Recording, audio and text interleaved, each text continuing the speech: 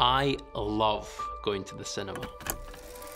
The massive screen, the comfy chairs, the crystal clear sound, and the overpriced popcorn.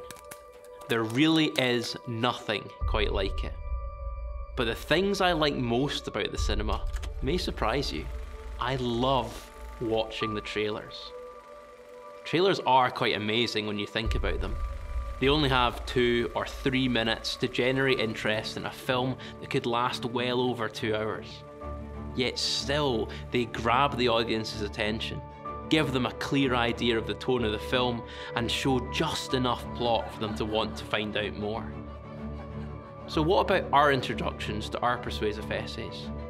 Like a film trailer, how can we grab our readers' attention with our opening lines and make them keen to read on? Got your popcorn? This is Think 4.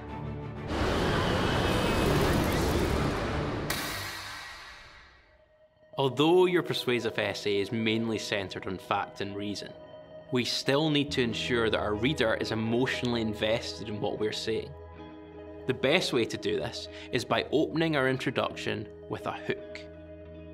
The hook to your essay is a short section in which you engage your reader before you even address your argument.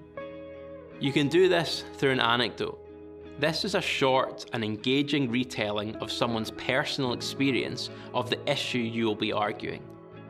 This is a particularly effective way to open a persuasive introduction as it allows you to use creative writing techniques such as imagery and vivid description.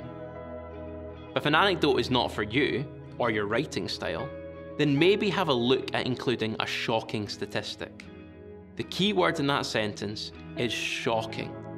Don't include a statistic for the sake of it, because it must serve a purpose to surprise us, to challenge us, and most importantly, to make us read on. However, sometimes someone else can say it better than you.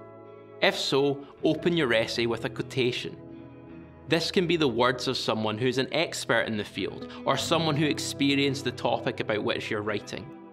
However, just as with the statistic, your quotation must be impactful. It must grab the reader's attention. So, now that we've hooked our reader, let's move on to our argument.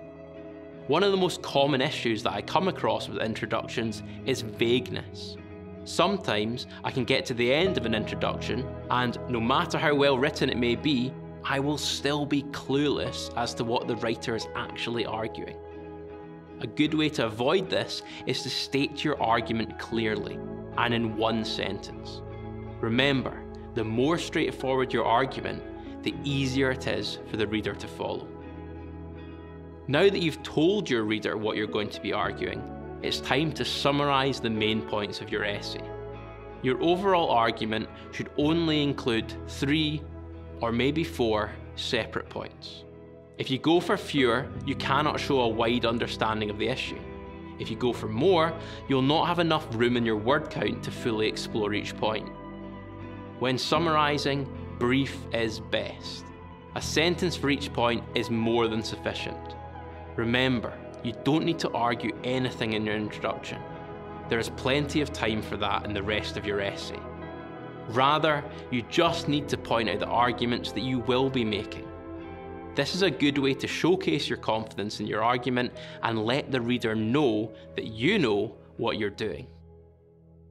Your introduction really is the trailer for your essay. You can draw your reader in give them a good idea of what you'll be arguing, and a little glimpse of how you're going to get it done. Just remember to follow the simple steps we discussed, and then all the reader needs to do is sit back, relax, and enjoy the show. This was thinkfour. Thanks for watching.